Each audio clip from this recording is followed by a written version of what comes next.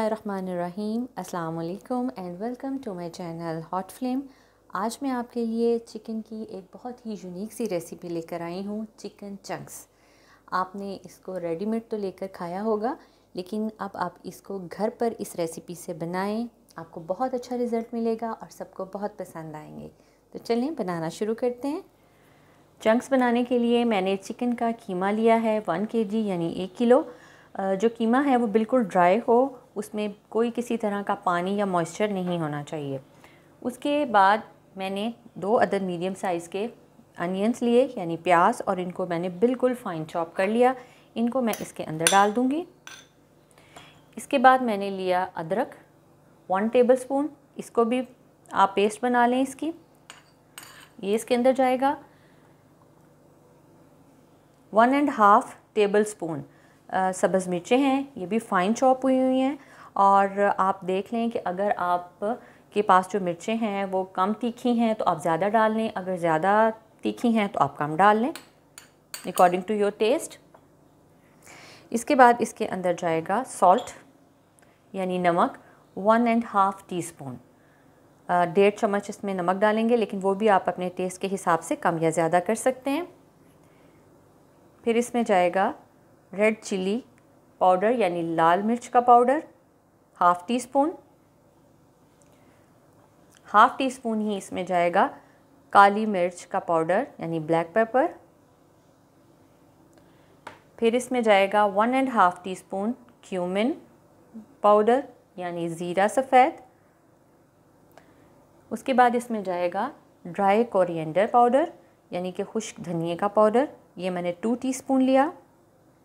ये भी इसके अंदर चला जाएगा।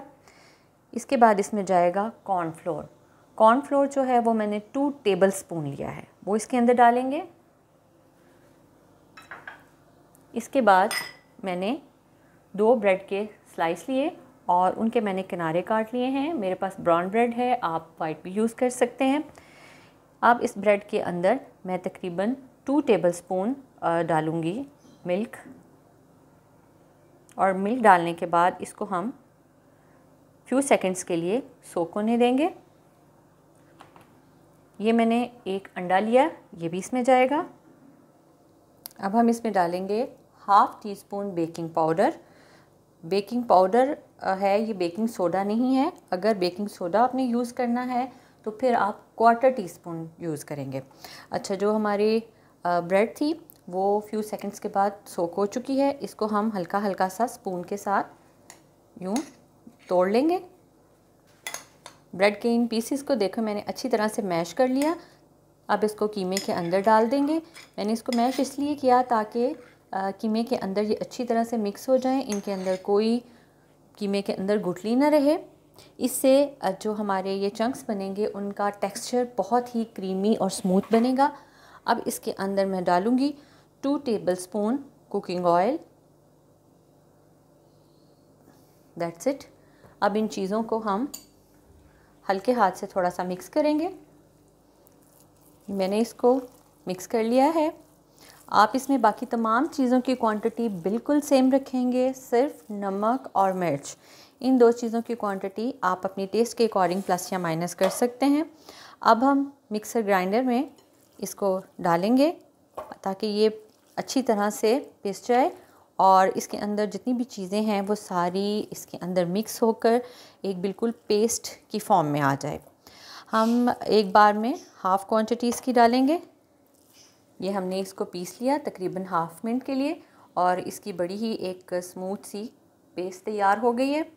इसको हम निकाल लेंगे इसमें से और बाकी जो मटेरियल है, उसको भी इसी तरह से पीस लेंगे। तो चिकन चंक्स का बैटर बनकर रेडी हो चुका है। अब हम चलते हैं इसके कुकिंग प्रोसेस की तरफ़। तो उसके लिए हमें चाहिए एक अदर प्लेट बड़े साइज़ की। या आप चीनी, या शीशे, या मार्बल या प्लास्टिक की, किसी अच्छे प्लास्टिक की यूज़ कर सकते हैं, क्योंकि हमने इसको माइक्रोवेव में यूज़ करना है। तो इस प्लेट में जितना ये इसका जो कर्व है, वो कम हो, उतना बेहतर है। इसमें हम डालेंगे हम फ्यू ड्रॉप्स ऑयल के। और इसको हम ब्रश के साथ इसमें लगा लेंगे, सारा ऑयल फैला लेंगे। अच्छी तरह ऑयल लगाने के बाद अब हम ये जो चिकन चंक्स का बैटर है, इसको लेंगे और इस प्लेट में लगाएँगे।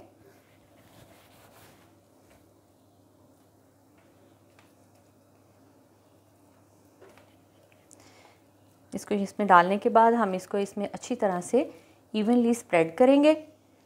इसके मैक्सिमम किनारों तक। और हमने इसकी थिकनेस रखनी है तकरीबन दो से तीन रोटियों के बराबर हम इसकी थिकनेस रखेंगे। ये जो चिकन चंक्स की रेसिपी है, ये आपको किसी भी चैनल पर नहीं मिलेगी। ये हमारी एक स्पेशल रेसिपी है, जिसको कि आप ज़रूर ट्राई करें। आपको बहुत पसंद आएगी। और जो मेरे नए व्यूअर्स हैं, वो मेरे चैनल को काइंडली सब्सक्राइब करें और अगर मेरी वीडियो पसंद आए तो उसको लाइक करें और शेयर करें। ये देखिए, इस तरह से हमने इसको फैलाना है। ये देखें, बिल्कुल इवन मैंने इसको साइडों से भी ऐसे बराबर किया। अगर आपकी जो प्लेट है वो दरमियान से थोड़ी सी डीप है तो आप उसके अकॉर्डिंगली जो दरमियान में जो ये लेयर है, उसको थोड़ा सा डीप कर लें। और साइडों से थोड़ा ऊँचा कर दें ताकि जो तमाम हमारा ये मटेरियल है वो एक जैसी थिकनेस में यहाँ पर फैले। ये देखें। मैं आपको दिखाती हूँ। ये देखें। इसकी थिकनेस आप देख सकते हैं कि ऑलमोस्ट हाफ़ इंच के बराबर इसकी थिकनेस है। आपने इसको इस तरह से पूरी प्लेट में अच्छी तरह से लगा लेना है। अब ये जो प्लेट हमारी रेडी है, इसको हम बेकिंग ओवन में भी बेक कर सकते हैं और अगर नहीं है बेकिंग ओवन तो माइक्रोवेव में भी हम इसको पका सकते हैं। मैं इसको आपके लिए माइक्रोवेव ओवन में ही बना रही हूँ ताकि आप ये ना समझें कि ये बेकिंग ओवन में बनता है और माइक्रोवेव में नहीं बनता। तो इसको हम माइक्रोवेव में रखेंगे। आम सादा माइक्रोवेव जो हर घर में मौजूद होता है और इसको हम तकरीबन तीन मिनट के लिए इसमें चलाएँगे।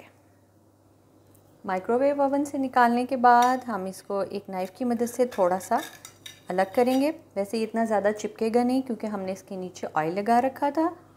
अब हम चलते हैं नेक्स्ट स्टेप की तरफ़। हमने उसको माइक्रोवेव में कुक करके रख लिया है। अब हम एक लेंगे ग्रिल पैन अगर आपके पास ग्रिल पैन नहीं है तो आप सिंपल फ्राइंग पैन कोई भी नॉन स्टिक इस्तेमाल कर सकते हैं। इसमें हम डालेंगे थोड़ा सा ऑयल तकरीबन टू टेबल स्पून के बराबर। और इसको हम पूरे पैन में अच्छी तरह से फैला देंगे। इस तरह से। और इसको थोड़ी देर के लिए, एक मिनट के लिए पैन को गर्म होने देंगे। पैन गर्म हो चुका है और अब हमने ये जो चंक्स का मटेरियल हाफ़ कुक किया था ओवन में, इसको हम इस पैन में डाल देंगे।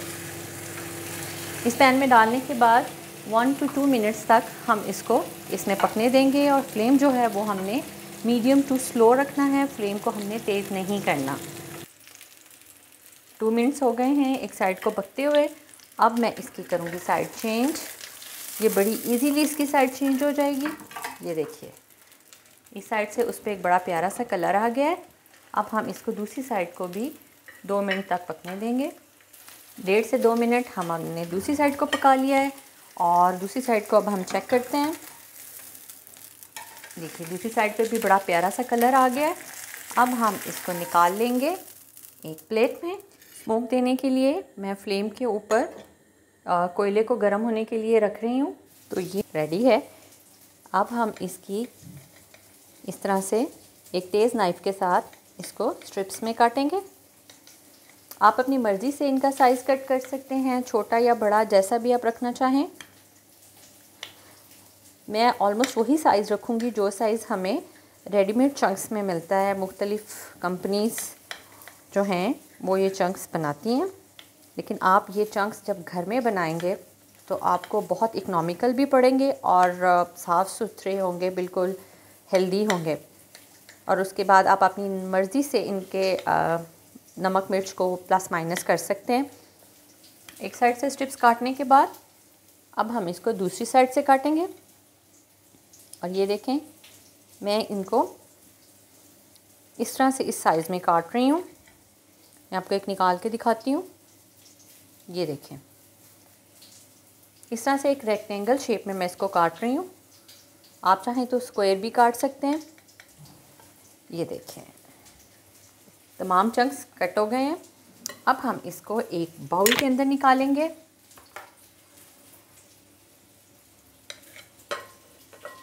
आप इनको एज़ इट इज़ भी यूज़ कर सकते हैं। आ, लेकिन मैं इसको थोड़ा सा स्मोक दूँगी ताकि इनके अंदर एक बहुत ही प्यारी सी बारबेक्यू की खुशबू आ जाएगी। तमाम चंक्स को हम काट के इसके अंदर डाल लेंगे। तमाम चंक्स मैंने कट करके रख दिए हैं। देखें ये इतने सारे वन के जी के बने हैं। अब इसके अंदर हम देंगे स्मोक उसके लिए सबसे पहले मैं रखूँगी इसके अंदर एक एलमिनियम फॉइल का पीस और इसके अंदर जाएगा एक दहकता हुआ कोयला। वन टेबलस्पून इसके अंदर हम डालेंगे इसके ऊपर ऑयल और जैसे ही इसके अंदर से धुआँ निकलना शुरू होगा, इसको हम कवर कर देंगे किसी प्लेट के साथ। और तकरीबन पाँच मिनट तक हम इसको यूँ ही छोड़ेंगे ताकि जो स्मोक की स्मेल है, वो अच्छी तरह से चंक्स के अंदर चली जाए। फ़ोर टू फाइव मिनट्स के बाद हम इसको करेंगे अनकवर्ड इसके अंदर स्मोक बड़ी अच्छी तरह से चला गया है, बड़ी ही प्यारी खुशबू आ रही है। और इसको हम फॉइल्स के साथ ही इस कोयले को इसमें से रिमूव करेंगे। और ये रेडी हैं हमारे चंक्स इस स्टेज पर हम इनको ठंडा करके किसी कंटेनर में डालकर तो फ्रीज़ कर सकते हैं। जब आप चाहें इसको निकालें माइक्रोवेव में गर्म करें और चंक्स रेडी हैं। तो चलें हम इसको डिश आउट करते हैं। तो ये रेडी है जी चंक्स की ज़बरदस्ती रेसिपी आपने इसको ज़रूर ट्राई करना है क्योंकि माशाल्लाह बड़ी प्यारी लुक आई है। खुशबू बहुत प्यारी आ रही है। बहुत ज़बरदस्त टेस्ट बनाए। आप इसको ट्राई करें। खुश रहें हमेशा। अपनी दुआओं में याद रखें। अल्लाह हाफिज़।